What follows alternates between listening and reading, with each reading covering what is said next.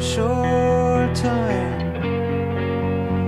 Exploding just to break a line.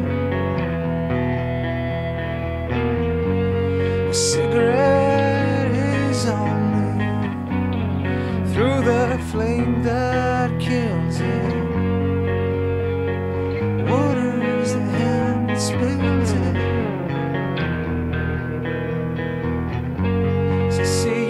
Sometime.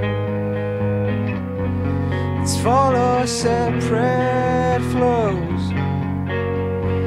and See how far our next